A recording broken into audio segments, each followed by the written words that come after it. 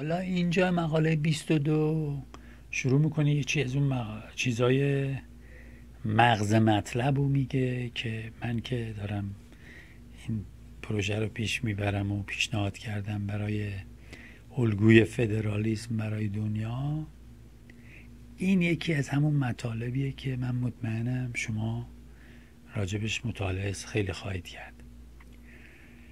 اینا که توی کنوانسیون فیلادلفیا نشستن مدیسون پیشنهاد کردش که هر ایالتیه که مثلا مجلس مقننشون بای کمرال قراره باشه یعنی یه مجلس نمایندگان داره و یه سنا اینو بهش میگن دو تا مجلس بای کمرال خب هر کدومشونو به نسبت جمعیت ایالت باید نماینده بفرستن. این شد که از جنگای بزرگ توی کنوانسیون که ایالت های کوچیک گفتن نه این خبرها نیست. اگه شما نذارید ما هم با شما مساوی باشیم اصلا اتحاد بی اتحاد. خلاصه کشید تا وسط کنوانسیون چشکار کردن؟ یه معامله کردن. معاملهشون این بود که House of Representative مجلس نمایندگان به نسبت جمعیت نماینده بفرسته سنا برابر یعنی هر ایالتی دوتا بفرسته. و اینجا همیلتون میاد میگه این کنفدراسیونی که ما داریم اینی که دارن برمیدارن این اصلا خیلی وضعش خرابه چون ببینید الان میخونم براتون The right of equal suffrage among the states is another exceptionable part of the Confederation. Every idea of proportion, every rule of fair representation conspire to condemn a principle which gives to Rhode Island an equal weight in the scale of power with Massachusetts or Connecticut or New York, and to Delaware an equal voice in the national deliberation with Pennsylvania or Virginia or North Carolina.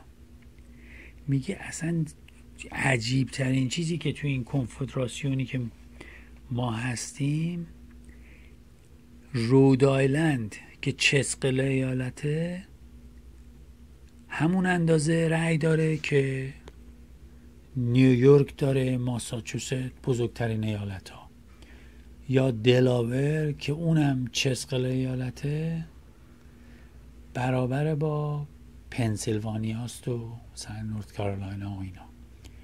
داره میگه این اصلا این کنفدراسیونی که ما توش هستیم خیلی چیزش خرابه. یعنی اصلا سر عقلی قابل قبول نیست که هر همه این ایالت ها یه رأی داشت یه اندازه رأی داشته باشن.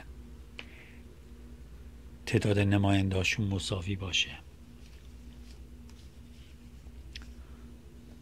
بعد اجازه بده بعد همینجوری این این پاراگراف رو بس خودتون دو سه چهار مرتبه بخونید. خیلی راحت هم از خوندنش.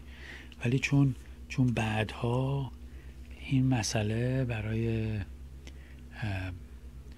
جمعی که مردم دنیا های نماینده هاشون میفرستن که یه الگوی فدرالیزم بذارن این یکی از اون چیزهاییه که بایست این حسابی سرش صحبت بکنن و به نتیجه بیان خب؟ چون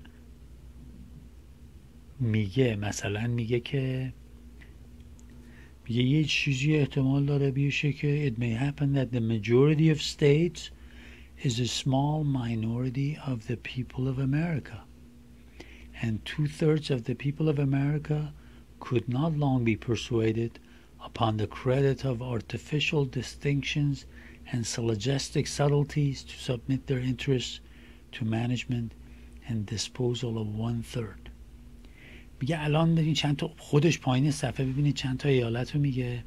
میگه ایالت نوهمشیر رود آیلند نیو جرسی دلاور جورجیا ساوت کارولاینا and Maryland are a majority of the whole number of states. یعنی هفت تاست دیگه. اگه سیزده تا ایالت باشه این میشه اکثریت. خب؟ پنجاه درصد به علاوه یک. But they do not contain one third of the people. میگه این هفت ایالت جمع که بزنی فقط یه سوم به زور یه سوم جمعیت کشور دارن. پس چجوری می‌خوای به اون یکی ایالت ها زور بگی با اینکه اونا بیشتر جمعیت رو دارن؟ بعد همونجا تو همین کاراگراف میگه the larger stage would after a revolt from the idea of receiving the law from smaller.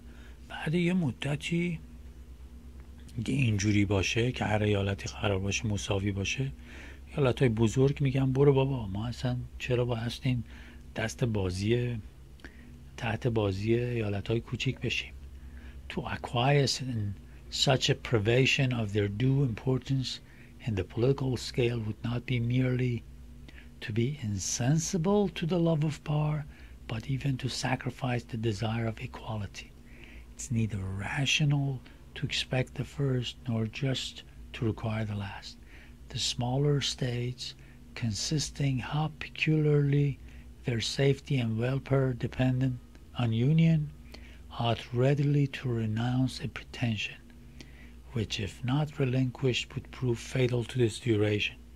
پس میگه عاقلانه است که این ایالت های کوچولو سر عقل بیان و منطقی باشن چون ایالت های کوچولو اگه برنامه بشه نمی‌تونن خودشون رو از خودشون دفاع بکنن. در مقابله با یک کشور دیگه که بخواد حمله بکنه و اینا. پس میگه طمع نداشته باشن. با این منطقی باشن بعد یه کار قشنگی می‌کنه. It may be objected to this that not seven but nine states, or two thirds of the whole number, must consent to the most important resolutions.